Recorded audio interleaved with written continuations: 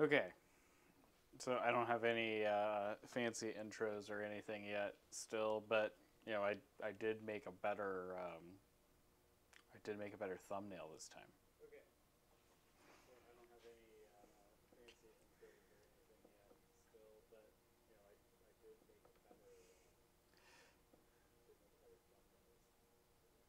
uh, did make a better thumbnail. So um, tonight we're going to talk about grblGRU. Uh, I think that's how you say it. It's a German CAM software. It is um, fully open source. It is really interesting, and it's one that I've had my eye on for a long time.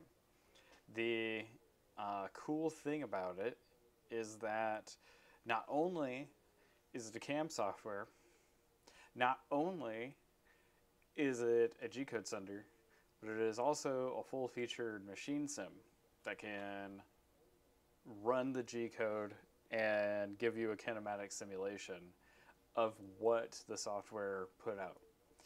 So as far as like learning CNC, uh, it's really, really interesting because it gives you a virtual machine that you can run your code on and see what happens. So we might play around with that some tonight. Um, I, I don't know how much we're going to get through. Um, this is the first software in a really long time that I, I looked at the interface for it and I was just like, oh God. I'm not sure how to get started in this. And I was hoping to get some time tonight ahead of time to um, look more at it, and I didn't. So, sorry. Uh, you get the full uh, clumsy clicking around. So we'll give everyone a couple more minutes to drop in. Uh, hey Rick, hey Josh, and um, we'll go. Nice living room streams. That's that's awesome. That's awesome. Hey John. For everyone, uh, John in the chat was one of the people to build a milk crate uh, from my design, and has been doing a ton of really cool cam stuff uh, from Fusion. And I know you guys want me to do cam on Fusion, but um, I'm good at cam on Fusion. So it kind of defeats the purpose. But if enough people actually really want cam from Fusion, uh, I will uh, eventually take a look at it. That, that's the best that I'm going to give you. Right now, I really want to play with all the ones that I've never touched. So maybe we can do a whole like different stream on Fusion Cam at some point. I don't know. So uh, with all that, hey John, um, we have a few people watching the stream. Um, let's uh, look at the software. So you're not missing anything in the bottom right. Uh, so you get my face, but there's there's just nothing going on down here. Um, but hey, Heather. Hey. Um, we th- this is this is the interface that you're greeted with when you jump in. It will. So the idea here is that like this this is your machine. This is a good representation of a pretty generic CNC router. And the way I'm assuming that we would get started is we'd figure out a machine representation that looks like our machine. So um, I did spend a minute looking through this list. And this list is really interesting. It's got machines like the PrintNC. It looks like it's set up to have a fourth axis in the middle of the bed if you wanted to try to simulate fourth axis movement. Um, it has, uh, this actually might be a good, well, no. I was going to say this might be a good milk crate analog, but this looks like it has an x-axis. Um, the Maslow simulation is interesting. So like the Maslow is a really cool machine that is a hang bot and it like drapes from two chains. Um, all the jokes that come from that. and uh, hey, Petros, um, there's all kinds of people here. Uh, so I, I'm kind of curious what the simulation from this thing looks like. Um, oh, yeah. Other cool things that this thing does. It produces code for three, four, and five axis mills. Uh, so it does rotational G code and you know rotational and you know rotational rotation orientation, um, and it does simultaneous apparently, uh, which is really interesting because you got to pay like a whole bunch of money for Fusion to do simultaneous. I don't know if it's good. We might find out. Uh, it does code for robot arms. That's interesting. I have a robot arm over there. Uh, does laser code. Um, it does four-axis foam cutter code, which is interesting because then you can do like wing spars and stuff out of foam. Um, so, and, and the thing that I'm the most interested in is it does lathe code. They, there are no free and very few accessible CAM packages that create lathe code. And the lathe code that I've seen from the YouTube videos I've taken a look at looks pretty good. So we're going to look at three-axis mills. Um, I'm just going to poke around and see if I can find something pretty close to a milk crate. Uh, that's sort of close. 2030, 3018 we might just use this 3018 sim. It's pretty close. The one of these a ruler.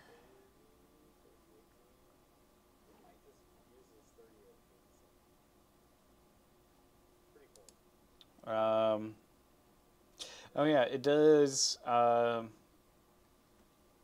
multiple Grbl flavors for G code. Um, I'm the most interested in uh, grblHAL and like the Grbl V1 uh, because those are similar to the controllers that I have on this thing. Um, we'll use that for. Oh.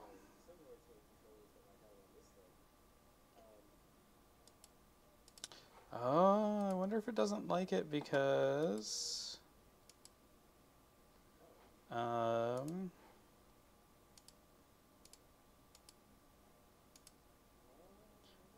find list of available ports.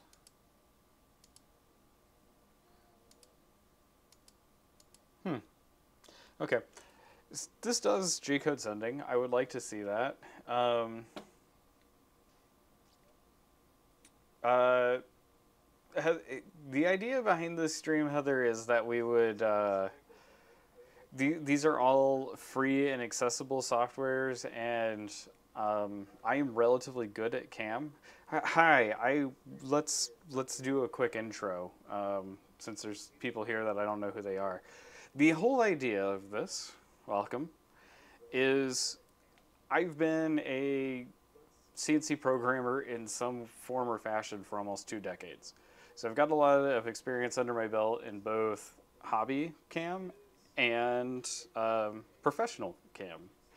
And I've got a list of uh, almost 20 free or what I would consider accessible CNC programming softwares, software that costs less than a machine, essentially, um, sub $1,000, but most of these are free.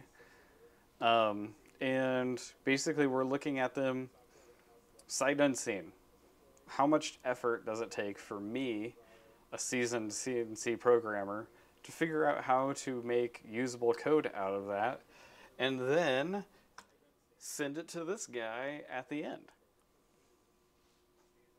I don't know how much effort this is going to take, but it's interesting and it's free and you can download it and we're going to find out.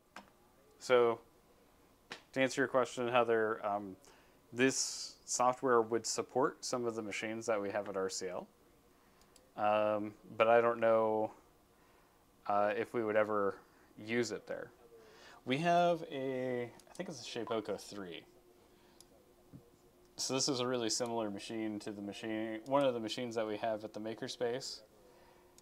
Um, but I don't understand. Oop, there's COM 3. Ooh.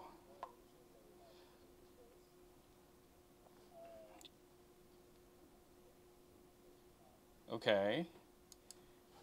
So didn't like that. Uh,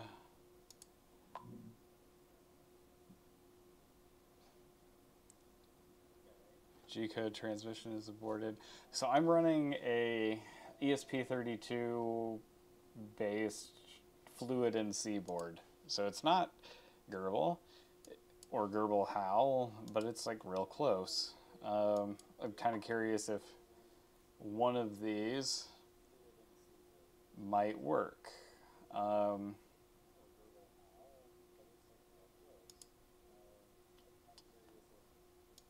if it doesn't, we will use CNCJS like we've used in the other streams. I feel like this Grbl v1 dot whatever should just work.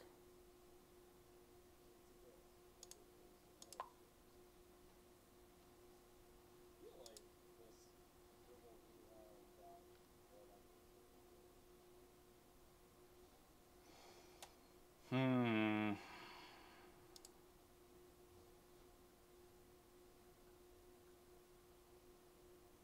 Anyway, I'm not sure I'm going to spend much more time on this.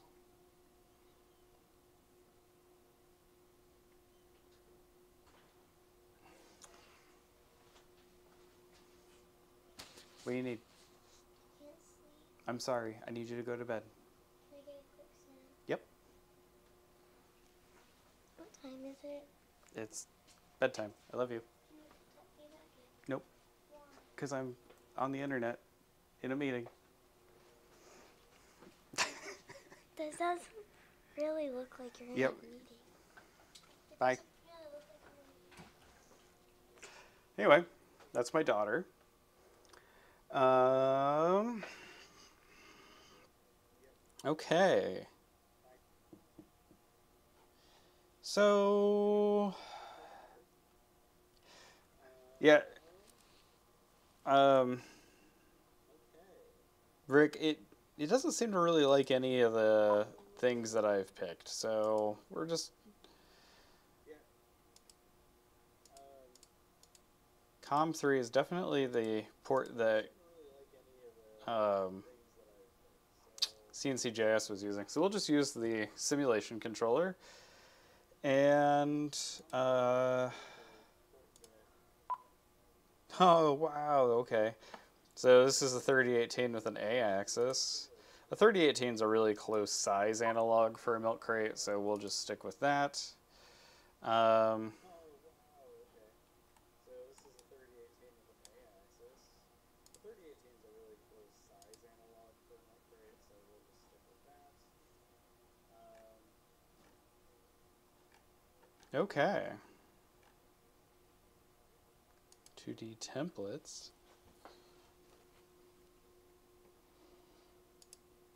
All right, so at this point, I'm trying to figure out uh, the right way to get my part information into here. So, um, let's say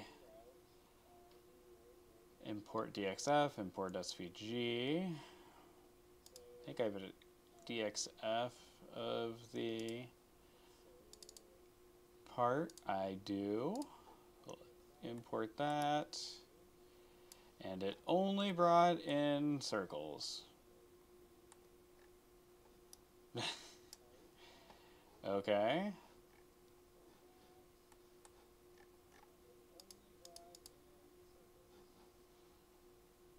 We go into 2D.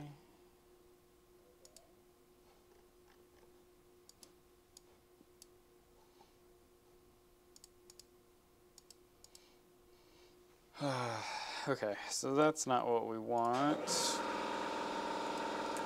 One second.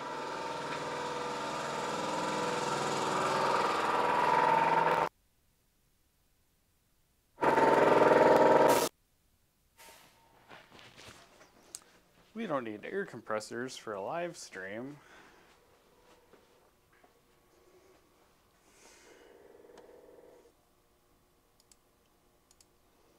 So let's figure out how to delete these. Clear workspace. Yes, I really want to delete all the data. Um, hmm, hmm, hmm Let's figure out how to delete these. Clear workspace. Yes, I really want to delete all of the data.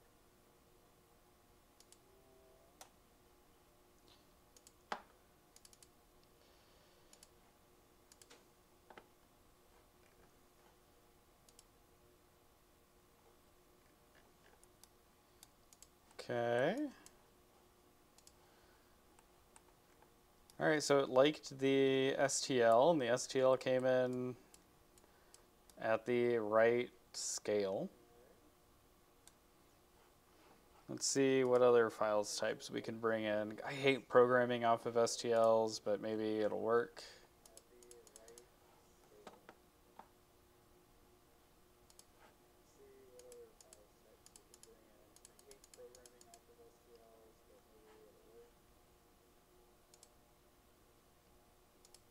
but maybe it'll work.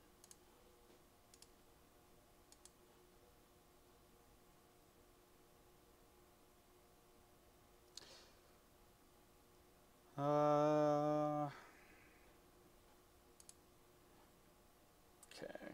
Um, look at me for a second. Well, I.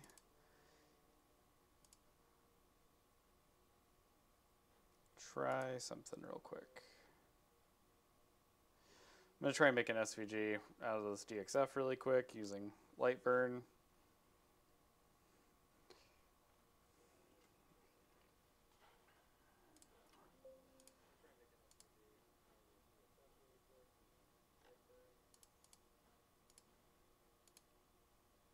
Ah, cool. Um, okay, so um,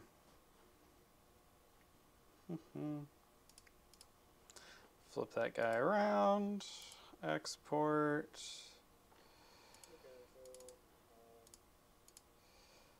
Make an SVG. Um,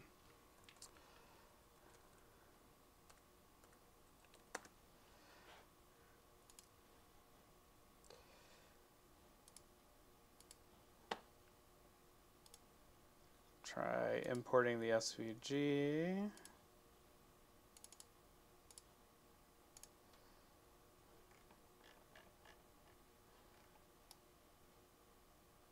No idea what happened there. Oh, there's something. Okay, so it likes the SVG. It liked the STL. Um, now let's see how to get these things where they're supposed to be because they're nowhere near where they're supposed to be.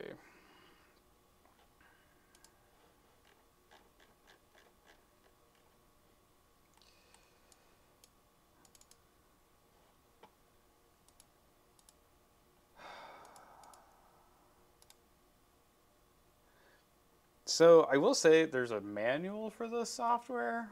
Um, I haven't read a software manual for a cam software in a really long time, but I'm starting to wonder if we're going to need it.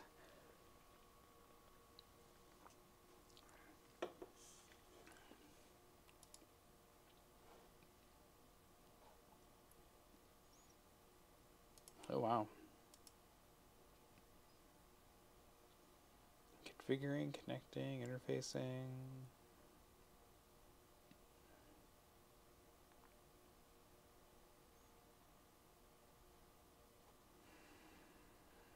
Okay.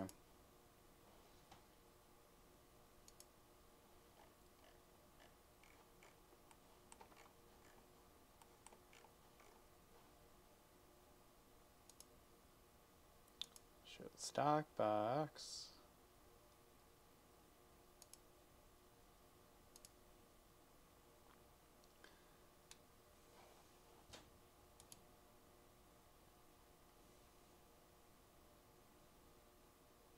Hmm.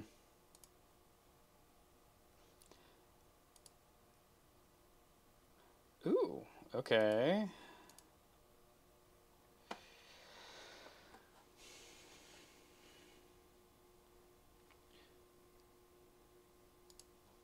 All right, so here's the manual. Um,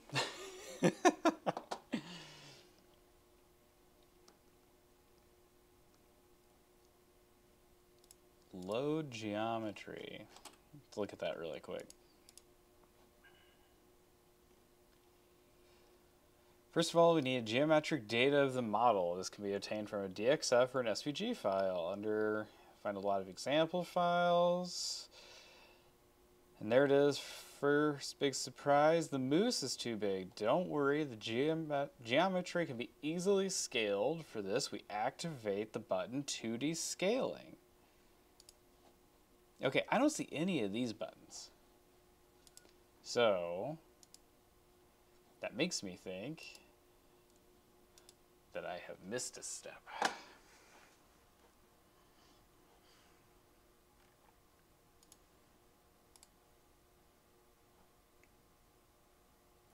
Oh.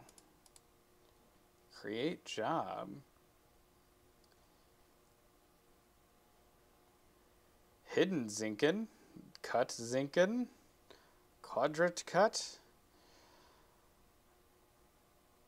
Uh, okay. So, who out there knows what they're doing? Or would know what they were doing at this point?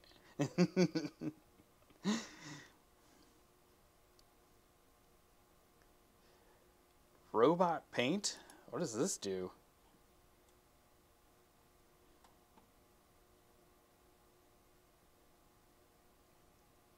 Okay. Okay, we're going to delete that. Um, all right, so first things first, we need to figure out how to scale and move. Well, we need to figure out how to move our geometry.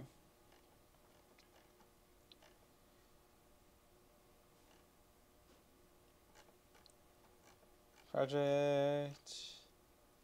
Jobs and templates. Gerbil has the last It's particularly easy to create a template if you already have similar templates during installation. Some startup templates are already installed, which are, can be easily changed. For this, we change to view. Let's use copy without tabs. Hmm.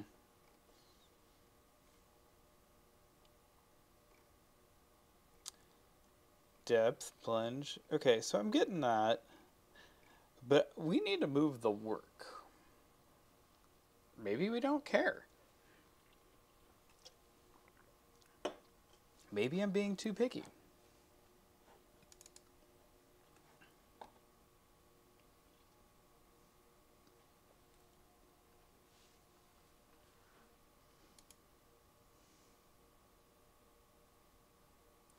Um, let's take a look. What's going on? 2D view. Assign the job to geometry.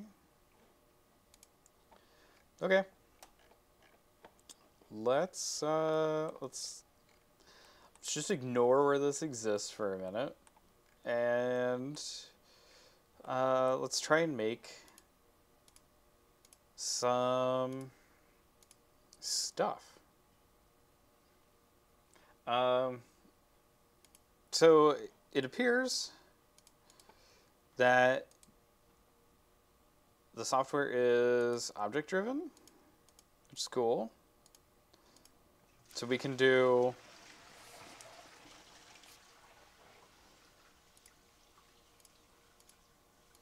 you can select everything for different operations, which is what we want. Um, let's do I need to move this keyboard, so I stop trying to use it. Uh, let's, uh, so I'm control clicking to pick multiples. Uh, unfortunately, what is path 13? Yeah, okay. So unfortunately, uh, when we, when these were created, they were not created right next to each other in the model tree. It helps to hit control and not function on your keyboard when you're trying to select multiple things. Hmm.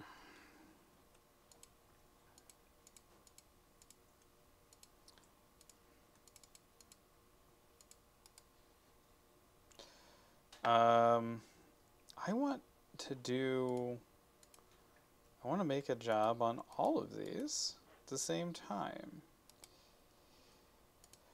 Hmm, okay, so let's pocket these. We'll create a contour pocket.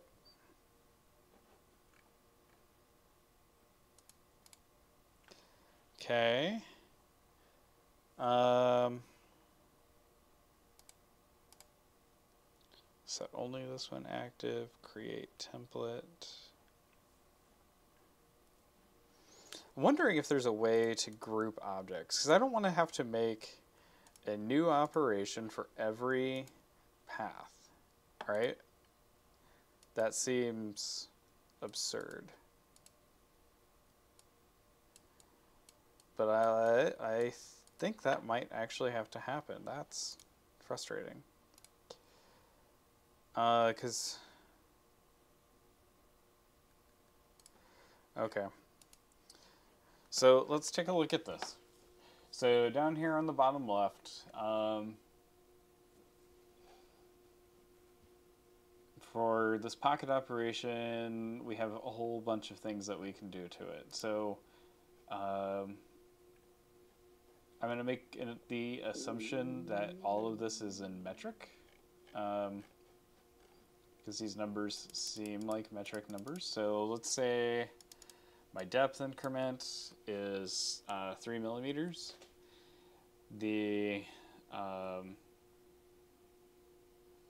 sum increments, they they have nice tooltips down here. That's nice. The final depth of all milling passes. Uh, okay, so we're doing half inch plywood. I want those holes to go all the way through. So let's make it 3.175, which is an eighth inch. Oh, really?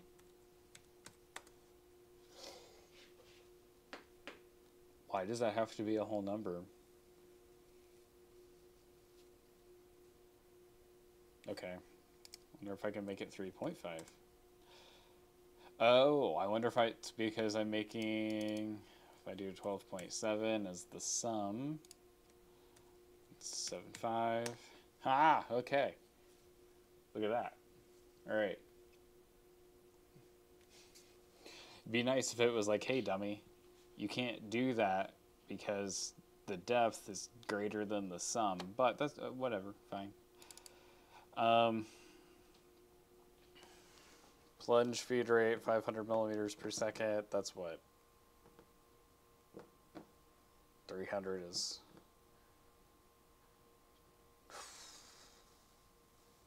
I really need to make a cheat sheet for myself. I'll make it a thousand.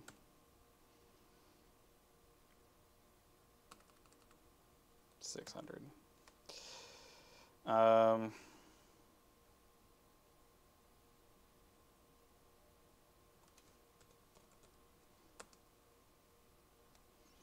why a full screen calculator? Windows, we don't need that.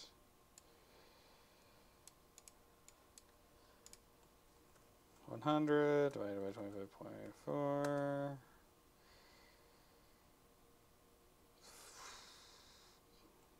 That's not right. One hundred times twenty five point four.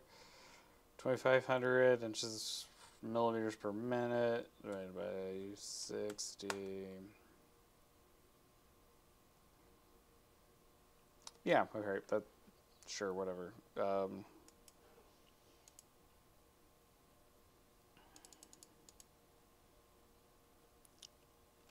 We'll make it 2,000. Probably fine. Rapid feed rate 2,000, sure. Um, So I'm assuming these are in millimeters per minute. I bet that's in the manual. We just had the manual up.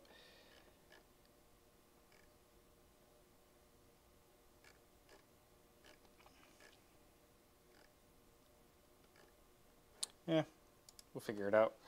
Um, height of clearance plane. This is always important. You want to make sure whatever the height that you retract and you move across the top of your material to is taller than whatever you have for hold downs. For the hold downs for these projects, I always use tape. So it's, you know, whatever the top part is. Um, it, Rick, it kind of did, but it didn't tell me why it wasn't working. It just made it look like I couldn't use a decimal number there for a minute. So, you know, it could have been better. Um, the milling direction, counterclockwise, that's probably fine. We typically want to climb cut? Uh, when we're milling. Counterclockwise is probably climb cut. I can't remember. Working plane, okay. Uh, the plane at which the process is started. Hmm. Okay, so I'm going to assume that working plane zero and our depth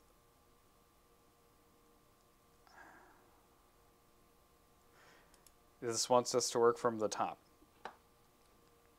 Maybe we can get that machine sim to work and we can find out. Um, lead moves, diving ramp. Ooh, okay. So this is a ramped plunge. Uh, we'll make it three millimeters. Tool identification. I want it to be a uh, one eighth inch upcut. Cool, cool. I I love that it's showing the stock that will be re remaining. That is absolutely fantastic. Uh, love that. Useful. Offset inside, offset outside. Neat. Um, what if I make that step over 50%? What's that look like? Oh, look at that. It completely changed this. What if I make it 25%? We get a second pass inside there. Very cool. Very cool. Uh,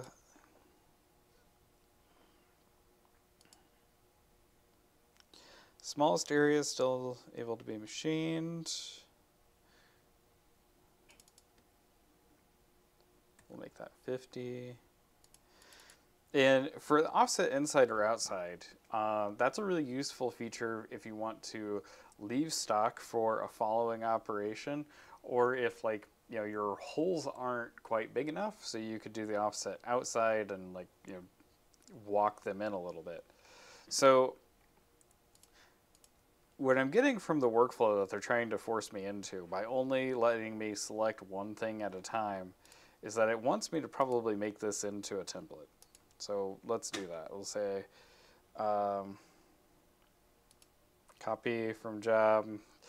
That's an awful, awful name. So let's say um, um, create inner pocket eighth. It's descriptive, you know, it kind of works. So, okay, so now we can say here, whoa, it was not letting me right click on these before. That's interesting. Create copy, create job, geometry editor, add geometry. What I'm really curious about is will it let me... Oh, and I can export them? Interesting. Extrude? Rotate? Okay, I was really hoping it would let me group those. that's fine. Um, mhm. Okay, and there is my template that I made earlier. And there is my cut. Okay. Now, I wonder if I can do those. Oh boy. okay. we found stuff. Neato. Um, that's actually not at all what I wanted for the square. Uh, so, can I remove that job? Oh, it like like doubled it up. Okay.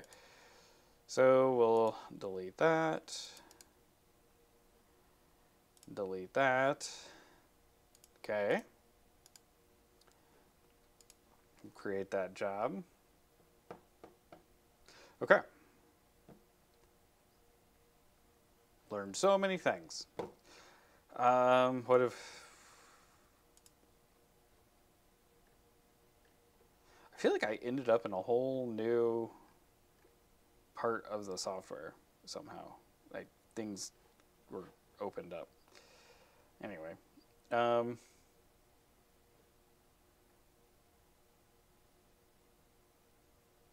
shows the huge display. Okay, next. If I do these, okay. It was not letting me right click on it before. I will say this is the 5.02 beta. There's a 5.0 release that is like their stable release. So like maybe that's why there's all this these like weird copy templates in here and stuff left over. Like maybe there's maybe he's just not good about cleaning up garbage from testing. I don't know. Um, so John, a lot of this reminds me kind of of um, CamBam. This is kind of how CamBam's interface feels, and CamBam is another commercial one that I would like to look at. It's like a hundred bucks. It's it's on my list of accessible software, and it does a lot of really neat stuff. Uh, but it's you know it's all 2D driven like this is. Um, but let's do a create job and I would like to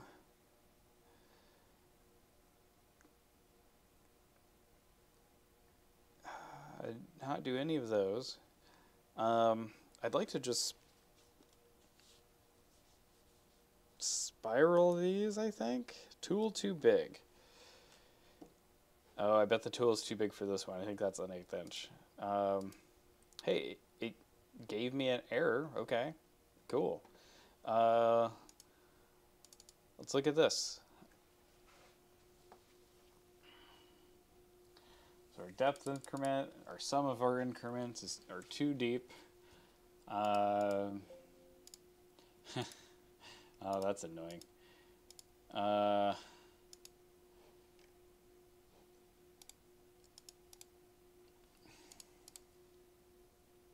hmm. I wonder if there's a way to be like, oh, I don't want to use. The active paths do not all use the same tool. Oh, okay. Oh, yeah, it didn't didn't carry my tool over. That's cool.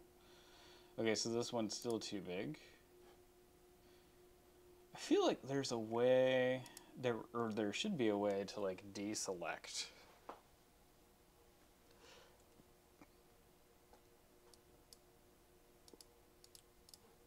Oh, But maybe the only way to deselect it is to fully delete it. That would be annoying. Okay. Create job. That's fine. Okay, so it defaults to those, or to the 6 mil in mil, whatever. I wish there was a way to define my full depth. maybe we can. Uh, we're gonna do a 6.5 depth for the spiral. Rapid feed.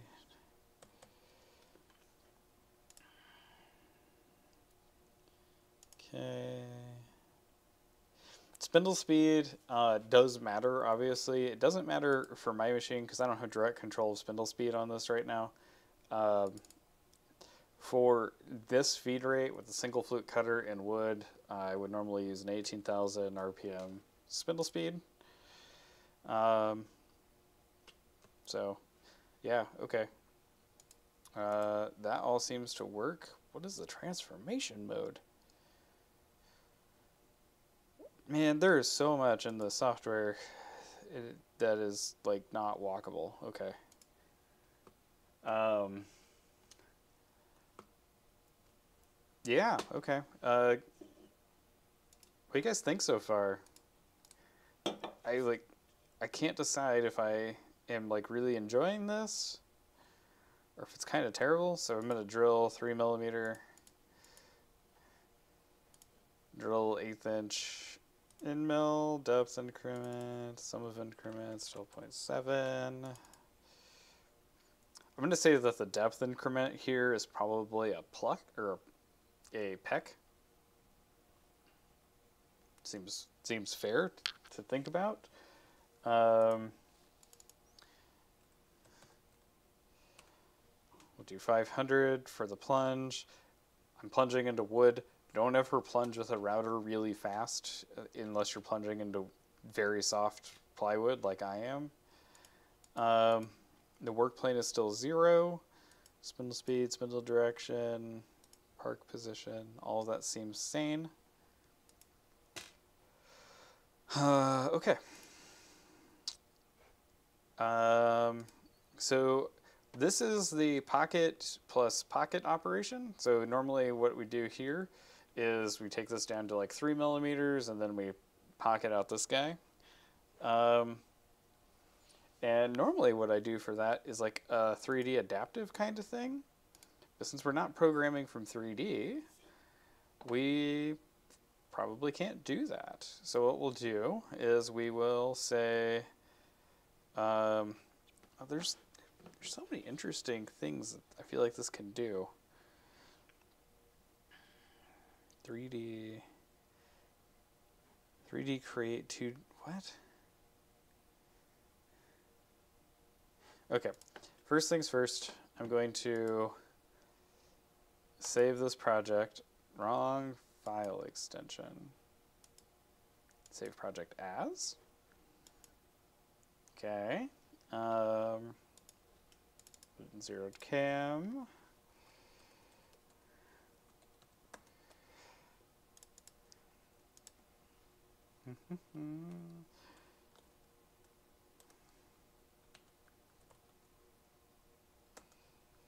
Okay. You have successfully saved. And our our save button's a red floppy disk. It's never red. Um, but I'm doing that because I'm really curious about. Doesn't feel incredibly intuitive to me. John. Anything that makes FreeCAD seem more logical is quite an achievement. That's funny. Um, you're not wrong though. Um, the the minds behind grblGRU and FreeCAD have like I, I, think they've got some things going for them. Uh, the uh, the grblGRU guys really push OpenSCAD. Like they have a direct OpenSCAD import. I noticed. Uh, load OpenSCAD, save SCAD. So like that's kind of cool. Um, scan points, like oh, if we could do uh, touch probing through this, that's pretty cool. Uh, I would really like, hmm. Uh, yeah, okay. I would have to agree feel like going for free software like this.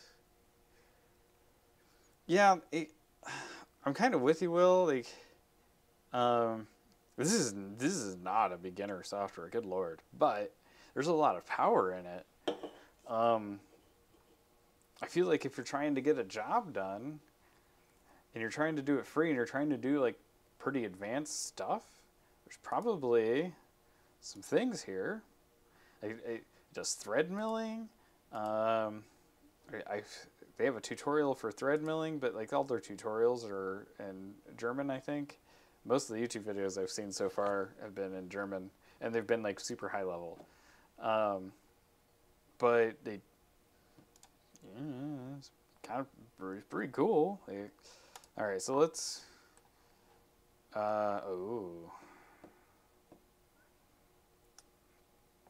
Yes. Uh. Mm-hmm. Whoa. Okay, so like, it's driving over there. That's not cool. Uh, but you know, it's like, it's like defined a, a stock off of my depth. That's kind of neat. Um, and we can see a 3D path or like a 3D wireframe. Uh, there's okay. We got to figure out how to move. Okay, well, that button's neat, useful. Uh, we look at the, look at the, look at the drill bit representation over here. Would have completely missed that. oh yeah, uh, a UI designed by an engineer. Absolutely. It's very functional if you can figure out how to function it. Ooh, stock. Okay. Uh, V offset, vertical offset of the stock. Created. Okay, so like if we had a vise lifting it up off of the machine bed. Okay. Um. Let's go back to this. Uh, I'm kind of wondering if I do all that and I right click on it. Um,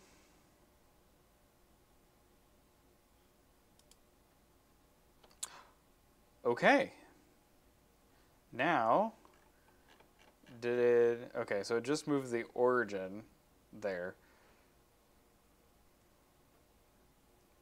Actually, it does. It does do a simulation of cutting into a defined stock, supposedly. Hi, Nick. Uh, excited to have you. Um, the but I don't know how to do it yet. um, I would really kind of like to get rid of that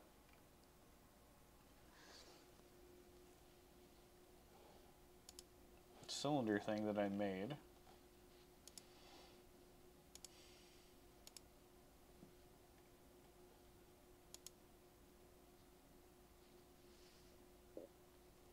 Okay, that's neat.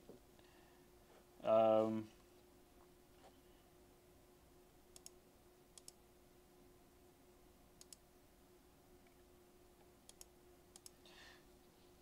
got nice tool definitions.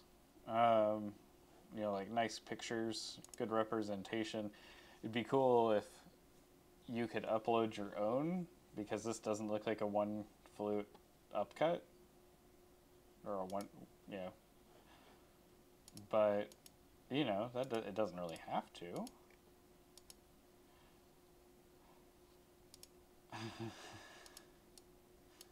Neat. Okay.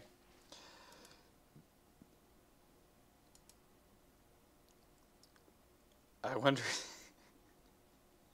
I wonder if it's um, if we're supposed to be cutting that axe out or are using that as a cutter.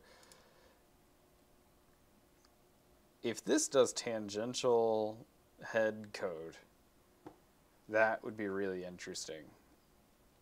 Now I want to go find that. Um, yeah. Okay. You're right, Rick. We were we were on a path. Gra- geometry editor. Okay. So we can mirror. We can set proportional scaling. We can, yeah, okay, that's. Mm. Alright, so we can kind of move it, I guess.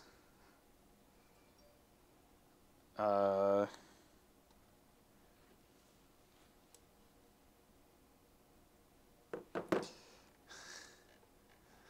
what do you guys think? Do you think DeskProto would have been better than this? I think Will, you said you've used act- actually used DeskProto. Is it better?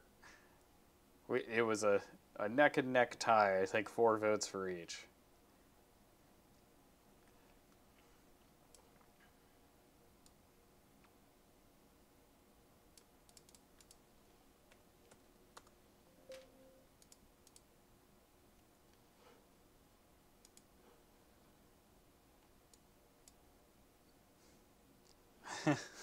okay, so it didn't update the origin, and I didn't move this little thingy. You voted for DeskProto. You probably made the right choice, but I was more excited for the machine simulation portion of this than anything, to be honest with you. So, um, you know, I made that decision for you. Uh oh. Where did the machine sim go? Oh. oh no. It is open source, Nick. Um,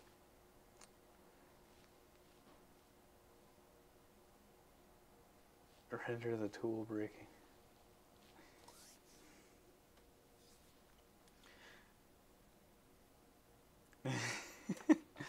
okay. Um,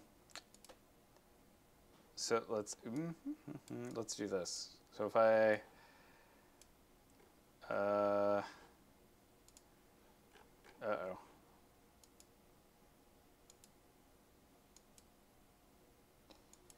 There it is. Okay.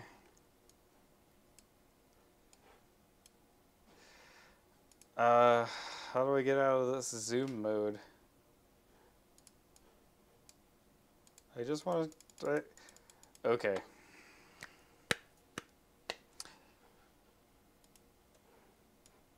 Ah, that was it. I was in the 3D tab. That makes sense. Um, so let's put the origin back at the... We'll put it at the bottom right. Hey, nope, I want the bottom left because I know my right from my left. Go here, go here.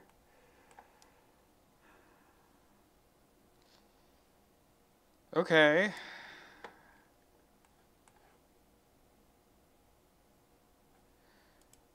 Set workpiece zero point.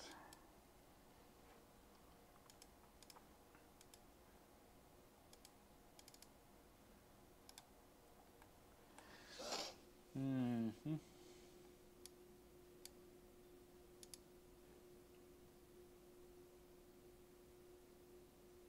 Hmm. Oh. Oh, shit. And we're not family friendly anymore. This is neat.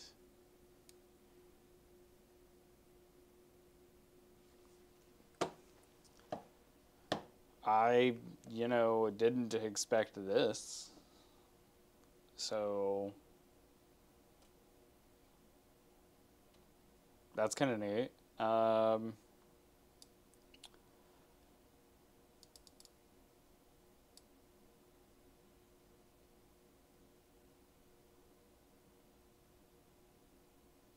Okay.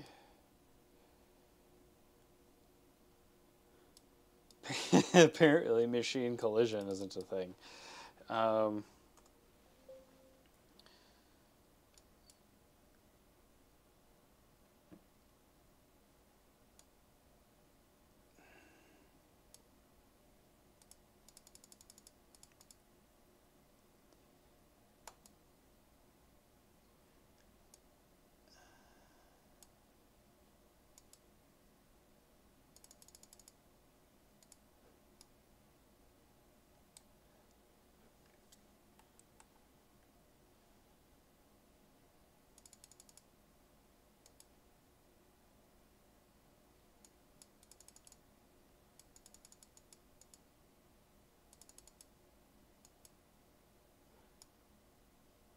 Okay. So then we'll do this, and we'll say because I I've kind of programmed it all assuming that the uh, top right or the oh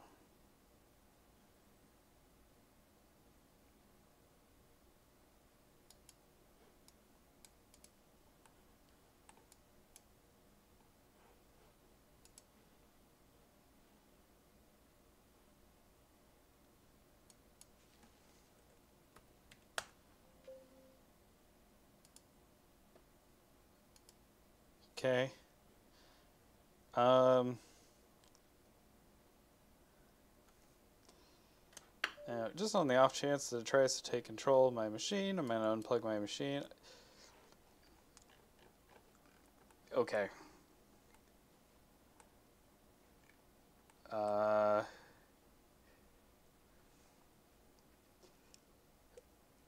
That's pretty cool.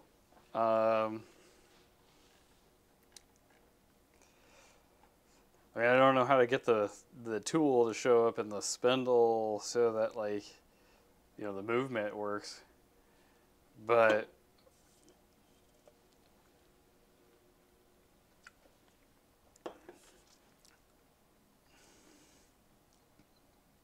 that's pretty neat.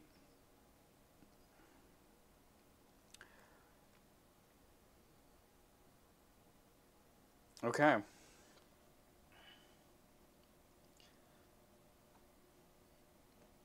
Job STL, drilling, active pa- toolpaths. Okay, that's fine.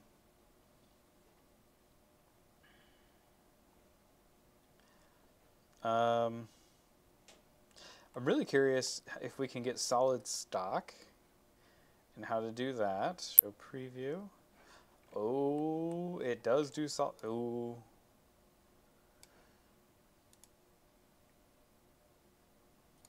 Stop. Um,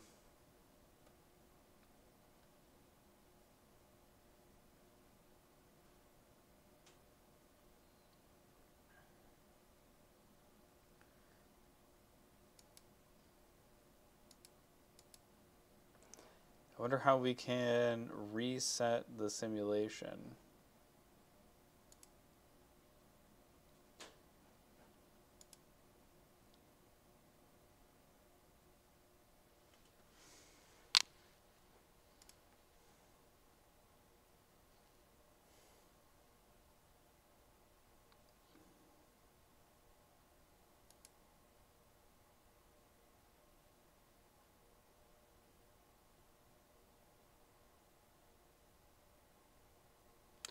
I to clear the workspace.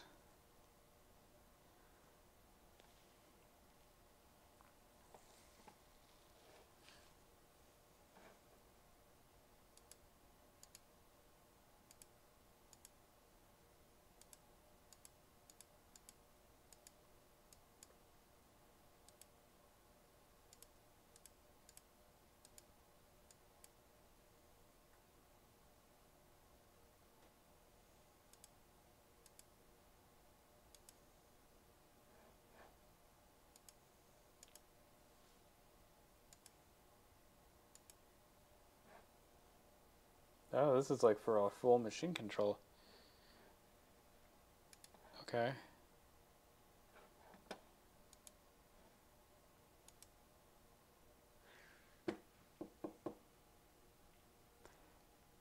Interesting. Okay.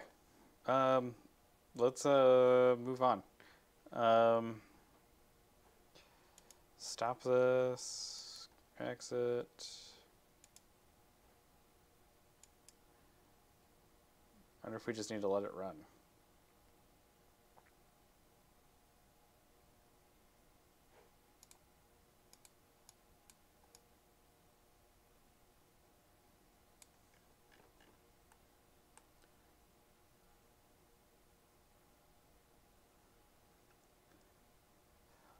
But this is a pretty neat tool. I'm I'm impressed.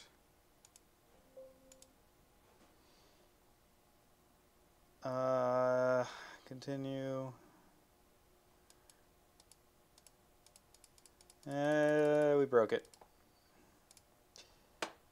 That's annoying. Okay. Um, good thing I saved.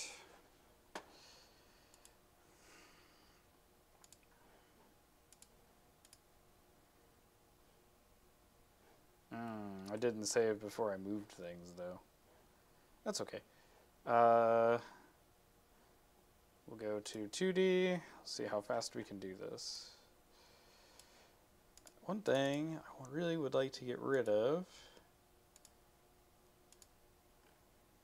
is that STL.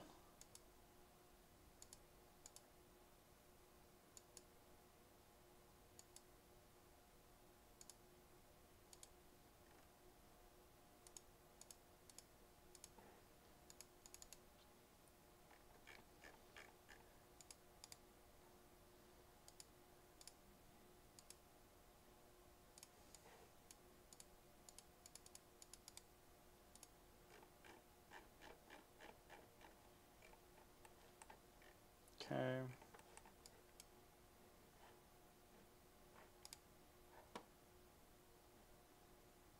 Origin left. There.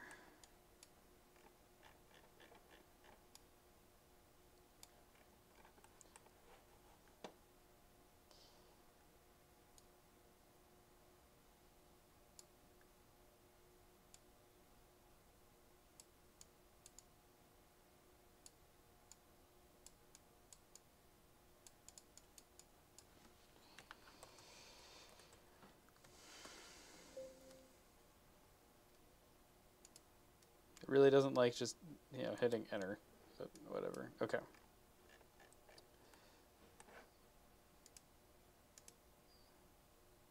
Oh, okay. So it's just like always cut, no matter what. All right, whatever. Save that. Go back in here.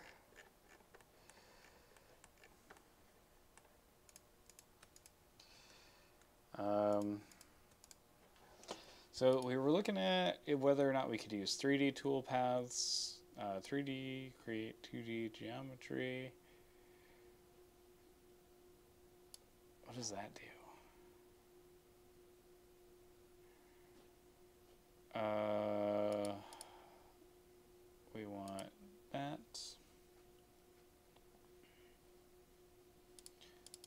Sum of increments, 12.7. Depth increment at 3. 100.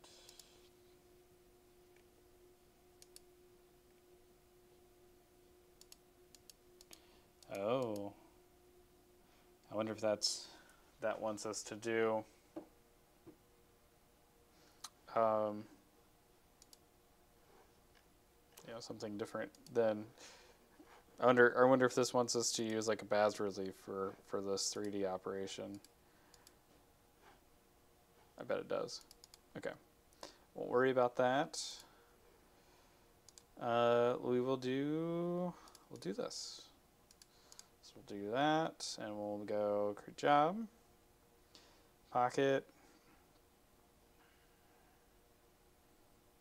Um,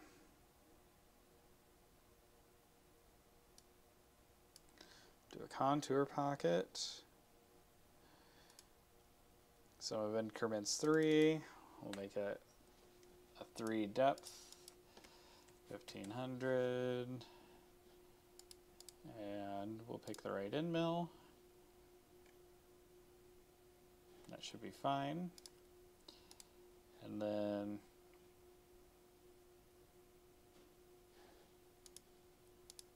Uh, yeah, okay.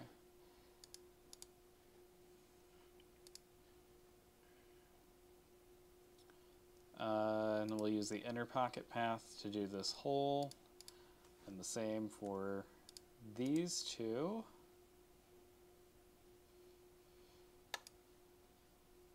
Because that's totally fine. For this one, I wanted to directly cut this out. The intent for this was the leftover stock inside this hole fits inside this slot. and um, I couldn't figure out how to do that in Kiri:Moto. So we're gonna see because we don't want to cut. We don't want to do a pocket. We want to do a direct cut. Uh, we'll say cut inside. Oh gosh, it's got tabs. Neat. So we'll do 12.7 uh, with a 2 mil depth increment since we want it to be like good with a we'll do a 2000 feed rate. Um, we'll do a 10 degree ramp in with no leads uh, curious what those look like. Oh wow. So it does this big sweeping lead in. A five millimeter lead out like blasts into the stock. That's not what we want. So we'll do zero for leads in and leads out. That's not because that's what we want. All right that looks good. Um, it's on the inside do number of tabs. Wonder if we can move the tab oh. all right that's pretty good. We can we can drag our tab placement around. That's very handy. Can we live update our tabs? We can. All right that's very useful. Um, and do a two millimeter thick, five millimeter wide tab. I wish we could. We can make them triangles. Length of tab. Uh, do two millimeter triangle ramps with six millimeter width. Corner overcut. What does this do? It dog bones. Okay. Um,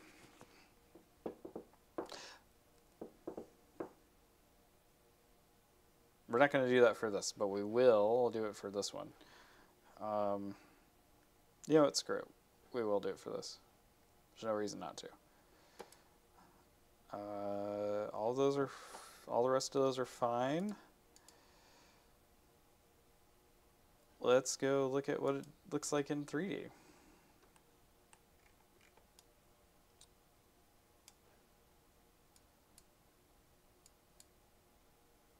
It'd be cool if it generated an STL out of your leftover stock.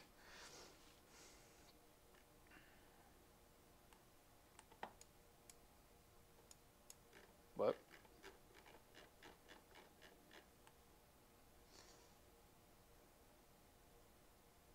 Huh.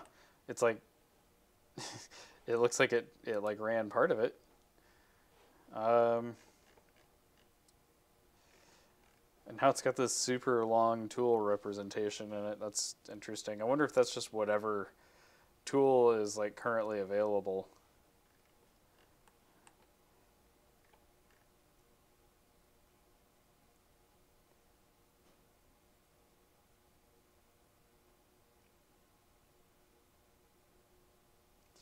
So, Will, the cool thing about this machine preview is you could import G code into this, and this virtual machine will just run it.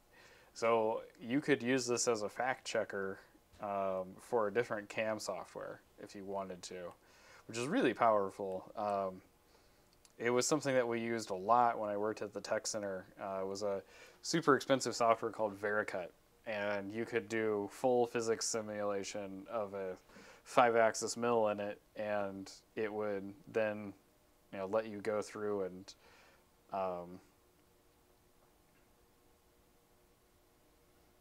so I wonder why it machined, it removed material from those, but it's not removing material from these.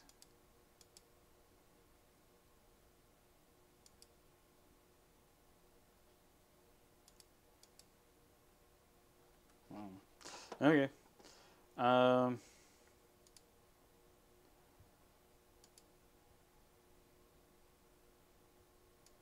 Interesting.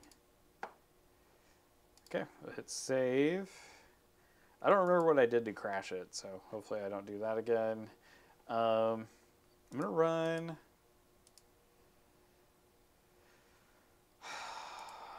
Okay, so one of the things that we did. Yeah, Rick. So the you can tell that it created the tabs. Um, I think we can uncheck. Uh, select only this active. Yeah, so you can tell that it created the tabs in here. Um, did it? What did it do?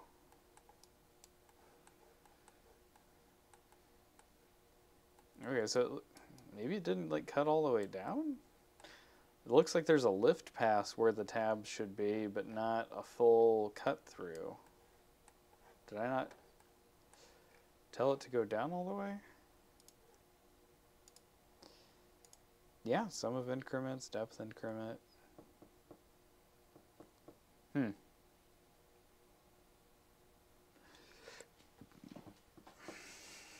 Okay. Wheel.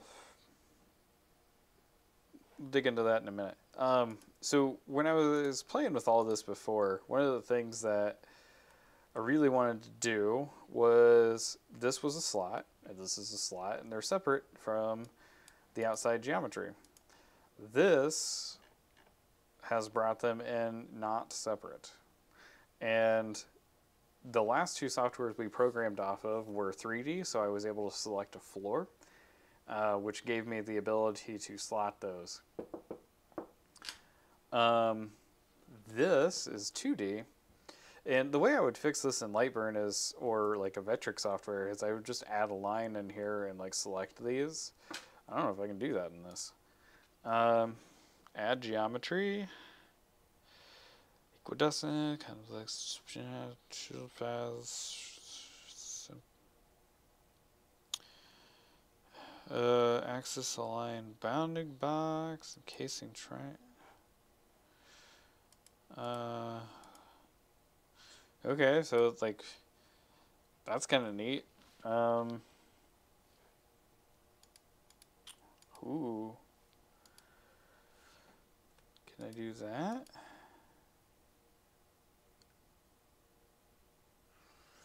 I don't feel like that's gonna work. Um,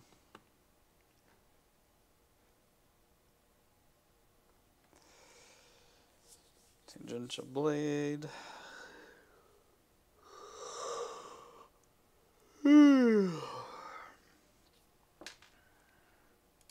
So, you know, the right way to probably do this was be prepared for it and add a second enclosed rectangle that like goes out beyond this.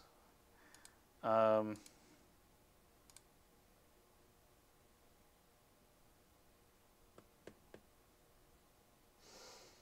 hmm.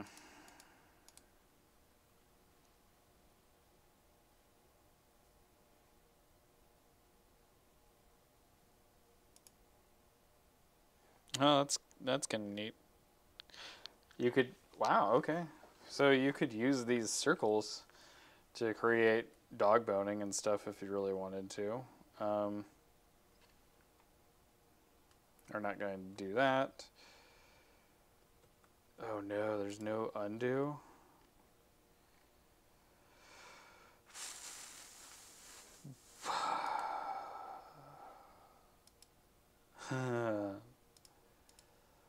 Crap.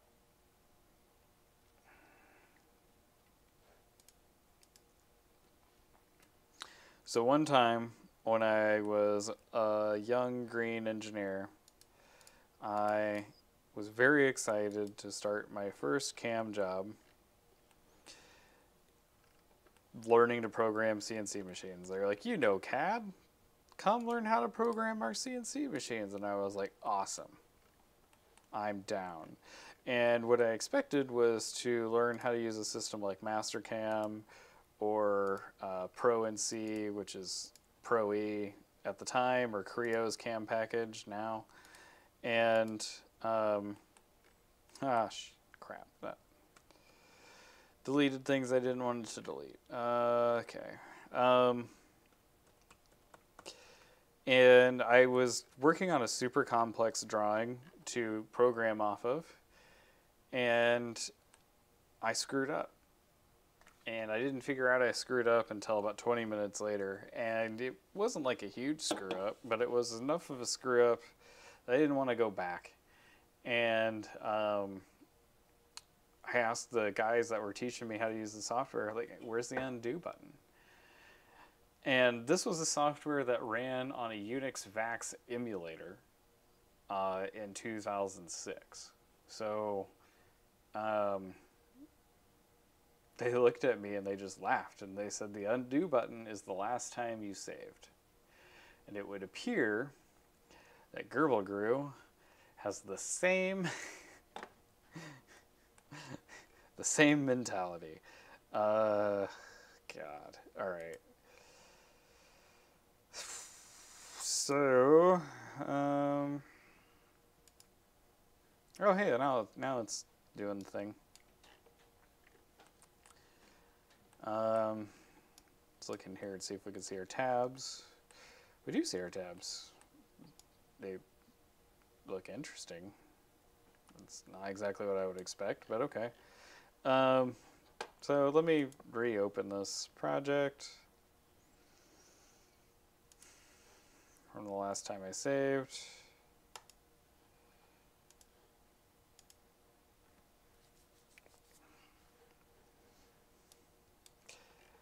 Um, I guess we're gonna just like ignore those slots because I don't know how to program them without cutting the entire perimeter. Maybe I could cut the entire perimeter. Maybe that's fine. Maybe that's fine. Maybe, let's just do that. Um, it still should do the thing I want it to do.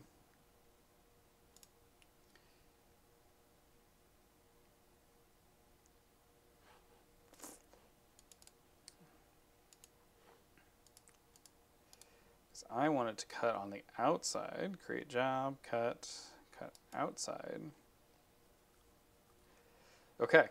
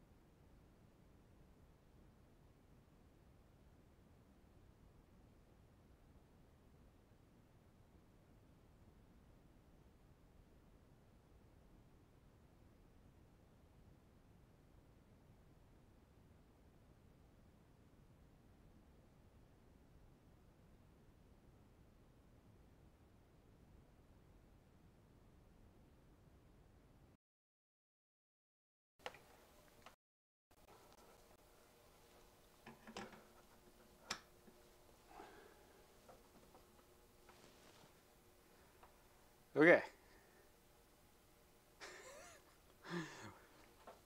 Weird. Um, for some reason, um, my USB cable wasn't charging my camera while it was streaming from it. So I think that's fixed now. Uh, sorry about that. Okay. Uh, anyway, slots slots are a pain to work with. Um, sometimes they're a problem to program. Um, the uh, there it is. Um,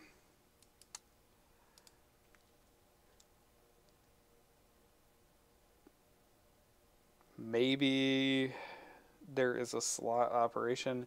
One way to to get around this is um, if you can program from a center line um, and tell it that the end mill is slightly smaller. That's one way of getting around it. We we got past it using FreeCAD doing that.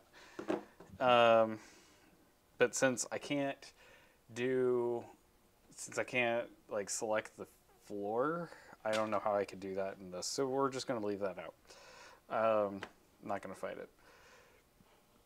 But one thing we will do is um, set the depth to 3 mil and the depth increment to 3 mil. And we will take all the slots out of it, or the tabs out of it, no tabs. Um, and it will uh, it'll just cut around the outside, and I don't care because we're going to cut around the outside at the end anyway. Um, and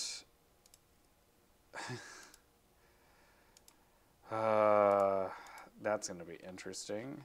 I wonder how. Mm-hmm. Let's figure it out right now. Um, we'll set that to passive so I can see what's going on. Um, so I selected that line and this line. We'll say create job, cut, cut outside. it's still going to cut on the inside even though I've got this border, this barrier here. Whew. Bye, Colin. Have fun with whatever you're doing. Um,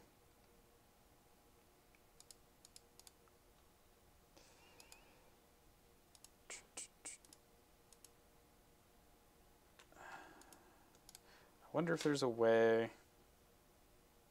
So we can do add geometry. Um,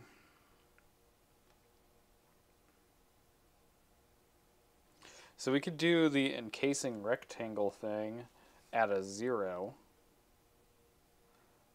which would Can we merge those? No. Okay, so we very much have to be prepared for this. All right. Um, I'm gonna I'm gonna let that fly for right now. Um, this is the first software we've done that does that claims to do V carving. I guess FreeCAD kind of said it did, but and we played with it a little bit. Um, I'm just gonna lie to it and tell it that we've got a V-carve bit and we're gonna see what it looks like. Uh, I just want to see what it does. So spindle speed, type of tool. I really want to see this tangential blade too.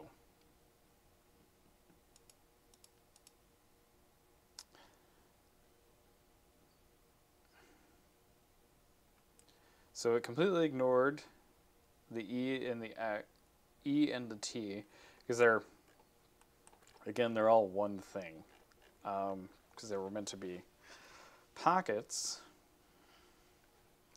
Um,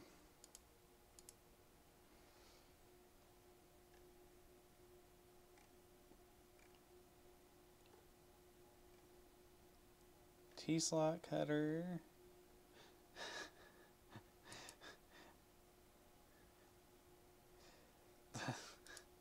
The axe. Uh, that that's really funny to me that there's an axe just hiding in the tool list of things.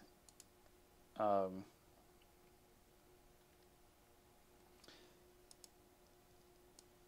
so I don't feel like we it should have any offset. Oh.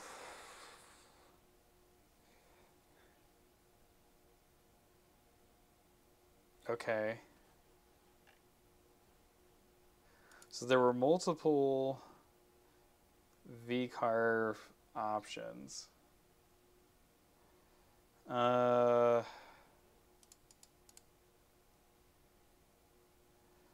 set that to passive. Great job. Pocket. Okay. Plug and pocket. All right. That's interesting. Okay, so the the idea there is um, a lot of people use V carving to do inlaid signs. So you would do the pocket, the pocket, pocket, and then you would do a plug, and it's a negative of it, and they fit together, and then you can glue them up, and then like face them off, and get all kinds of different cool colors, and they're like perfect. Um, interesting. That's one of the things that I've wanted to do on this machine, and I've never gotten around to it because time is a thing that I don't have. So what we will do this time, though, is we'll say uh, the text is a pocket. Um, it's interesting that it's got so many little depthy guys there. So let's say uh, a depth increment of 3, the sum of increments of 3. Okay, there we go. Um, and cut feed rate of 2000 because we don't have all day. 500. I still think, feel like 500 is pretty slow, but should be okay. No tabs. Um, I like that I don't have to lie to it and that I can pick whatever tool I want. Nah, I'm eh, okay. I don't want to do that. I want, we'll, we'll just we'll just lie to it and I'll just use the same tool. Um, but for the T, let's see what the plug does. Uh, 60 degree plug. Okay, so this is going to like go around the outside of it. Uh, I'm gonna pick a cutter that I actually like own.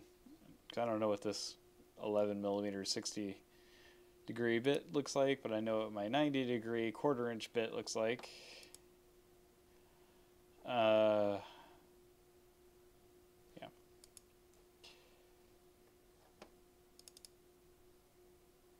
Uh, okay.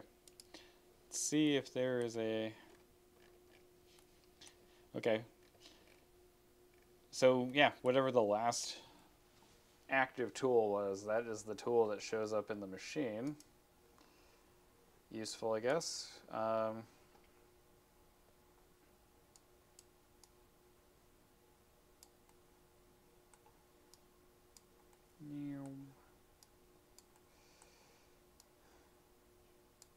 Sorry if this is making you guys sick. Uh,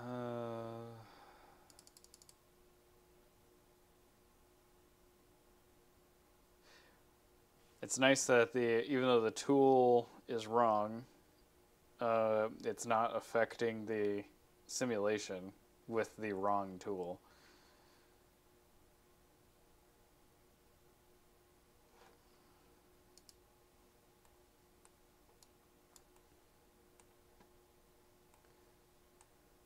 But I would I would love to know how we make the simulation act on it. So we can tell here that the V carve looks pretty sane. Um, I'd love to see that 3D path.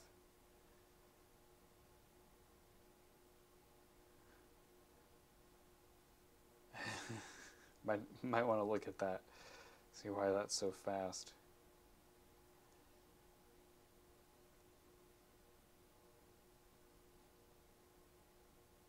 Okay, so it's it's doing the little corner clears.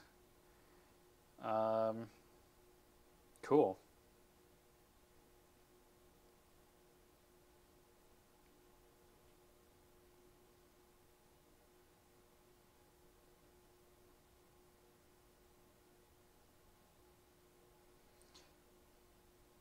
It could go faster in the simulation.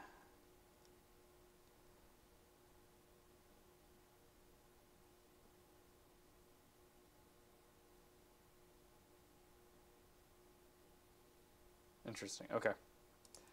So stop it. All right. Uh, all of this seems relatively sane to me. Um,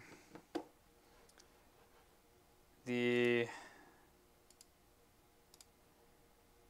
is it active?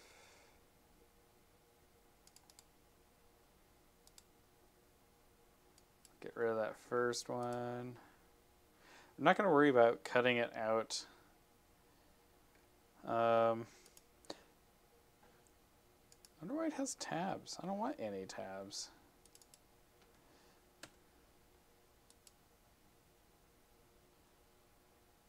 Safe. Good, good, good thought, Nick.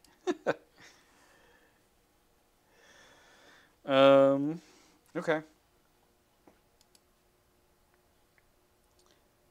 So I feel like this software definitely deserves some more looks, but I'm also kind of over it digging around in it at the moment and kind of want to see what the uh, output looks like. So, um, oh wow, okay. So it gives us a temp file of our G code. Um,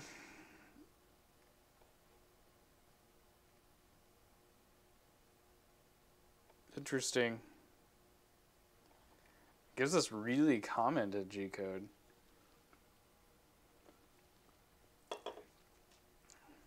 And yeah, it's 10:30 and I'm drinking Red Bull.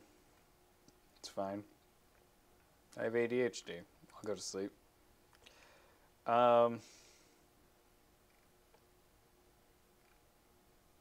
Okay.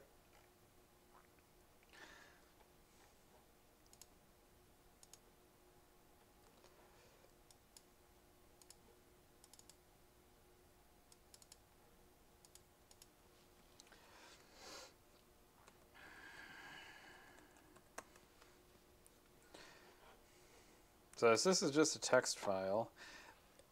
Um, start hoeing. What does the probing routine do? That's cool. Huh.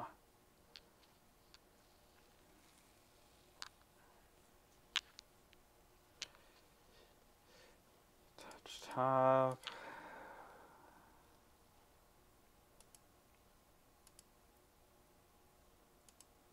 Hmm. Interesting.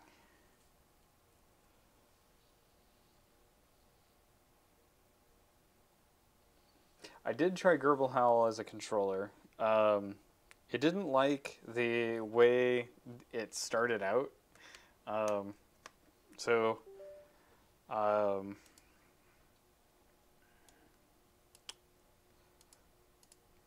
give it a second to find the ports. Uh, we got a port. So when I went to the just Grbl V1, it gave me an error about my G10. You know, system command not recognized, Grbl transitions. Eh. This is a FluidNC controller, Nick. So it's like kind of the same, but like not. Um, I've had really good luck with um, CNCJS and GSender with it. Um, it's just, I, I think, I feel like uh, this really wants specific things. Yeah. Uh, Unknown error. See controller window for details. I have a grblHAL controller. Uh, I just you know have to put it together and like hook it up. I also have a Duet controller that I have to put together and hook up, and so all the things.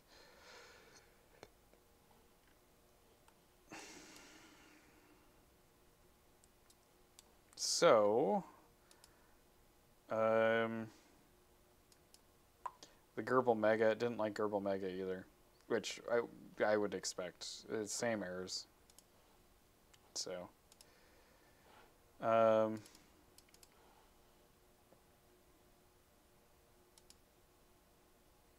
this is a to-do list for your own use. That's neat. I like project notes. That's very handy. Show and hide controller. Whoa. Okay. That's relatively useful, actually. Um,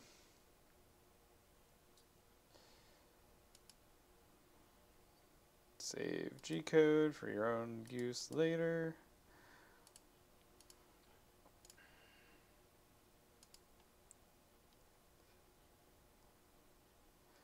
So I'm just going to try normal old Grbl for my post processor. Uh, everything to upper, lower.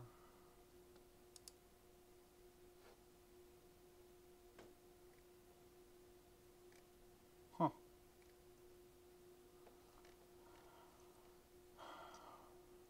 Seems relatively sane. I mean, the worst thing that's going to happen is the machine's going to crash. It's not that big of a deal. Uh, so we'll save the project again. We will.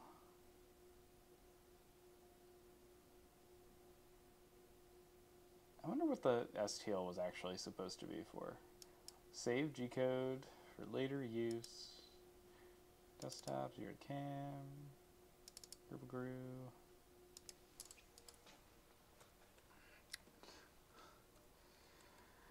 Grew. Let's see.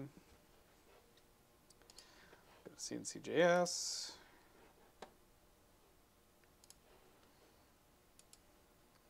Let's put this on simulation.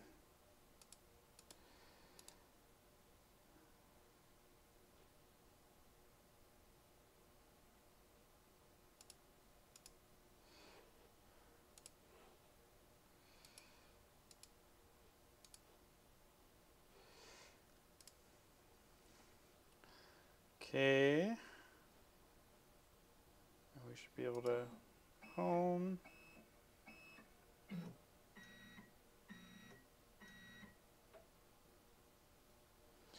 Okay, and um,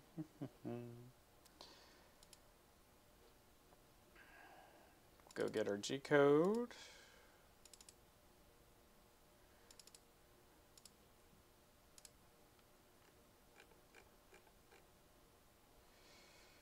Well, uh,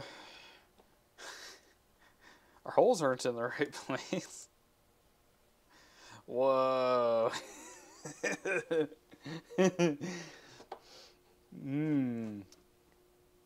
Yeah. Interesting. I, uh, I don't know what my machine would do if I tried to go that far through the table. Um, I don't have any mechanical stops stopping the Z from just like driving off the axis. I think eventually we'd drive the collet nut into the table. Um, let's not run that code. Uh, so. Um, so those holes that were all strung together were were the spiral path. Um, so uh, one of the It, it could be. It could be a beta output issue. Um, I do have the stable version downloaded. Uh, if we're gonna dig into that, I'm gonna go get a chair. Um, so let's look first here at the spiral. Spiral job. So our sum of increments, 12.7. Transformation mode is none. And I feel like our transformation mode was like the same for everything. Select how to transform your data. Yeah, okay. Forget. Yeah, it's trying to scrap the floor, just like straight through the table. I'm gonna grab my chair. Um,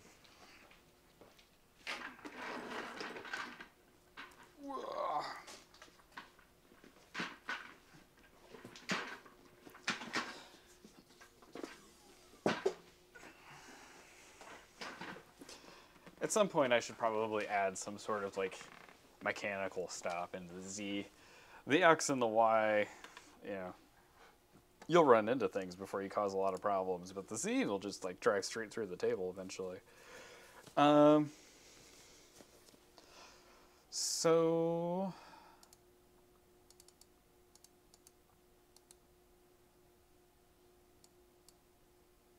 All right. Did it do the drill path? No, it didn't do any of the circles. And there isn't a plunge hidden in there, unless you call that a plunge. So, what do you... Where did it go? It, oh, this is funky too. Uh, there is no lift. It just... Where... Okay. Uh, so it's like just it's just dragging through everything. Um, that's not that's not what we want. It's not what we want. Um,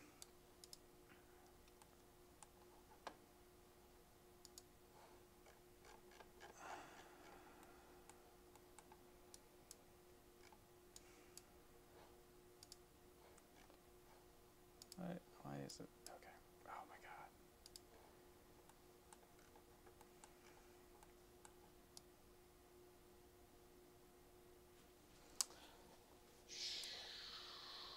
Oh. 20. Okay. Well, that's better. Um, why does it keep doing that?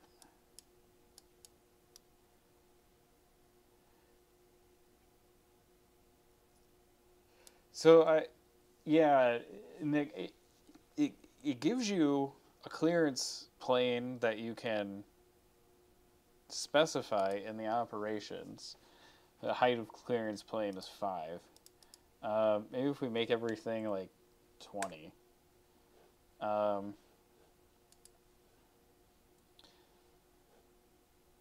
but